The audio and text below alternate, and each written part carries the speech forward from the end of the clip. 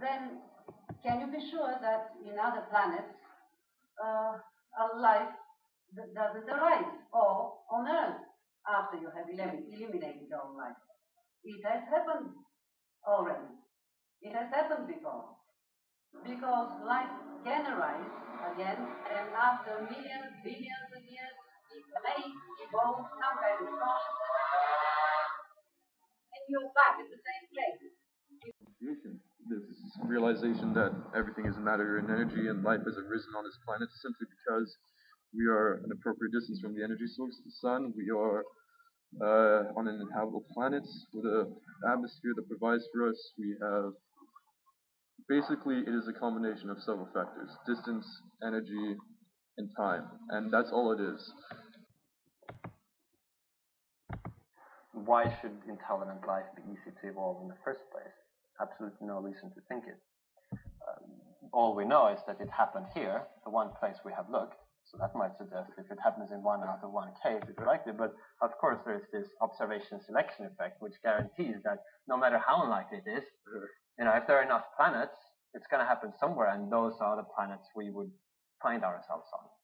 Even if they were one in a billion, billion, billion, billion planets, you know, those would be exactly the places all life would look at, and they would think that it was remarkable that life evolved there. But of course, uh, the observation selection effect guarantees that. So we can't infer from the fact that life evolved here, therefore it's fairly easy for life to evolve on any given planet. Um, and so, so that, that to me seems to answer the, um, the Fermi paradox.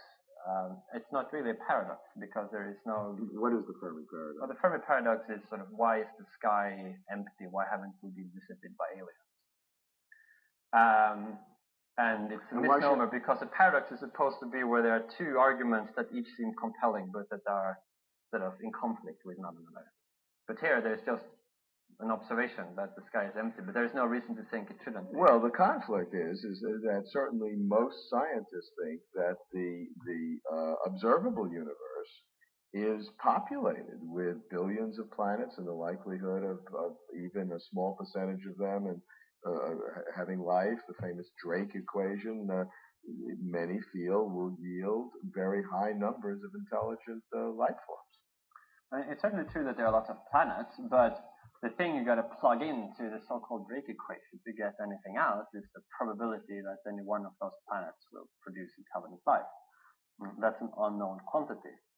And we have almost no constraints on what the magnitude of that quantity is. Um, and I think possibly what is driving the people who think that it can't be that small is that they overlook this observation selection effect. That the one sample we have, this planet, life evolved, so it seems fairly easy. Uh, but that misses the point that even if it was ridiculously improbable, we would still find ourselves standing on a planet where that improbability occurred. If there are sufficiently many planets, it was bound to happen somewhere. So the fact that life evolved here tells us almost nothing about the probability of life evolving.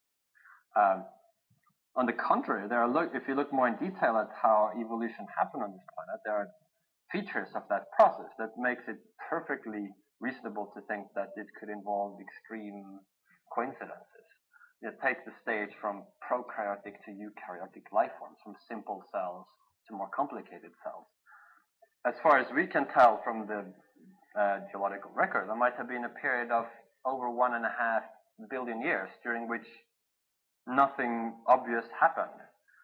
So it might just have been that for one and a half billion years, evolution was just playing around with random combinations and uh, eventually it got lucky. And here it happened within one and a half billion years or within 1.8 billion years, but maybe the expected time to get lucky in that random recombination could be you know, trillions of years, so longer than the universe of the life, uh, uh, longer than the lifetime of the universe. If there are sufficiently many planets, it's going to happen somewhere. And on all the planets where it happens, it's got to happen within the lifetime of that planet, limited by the lifetime of its sun.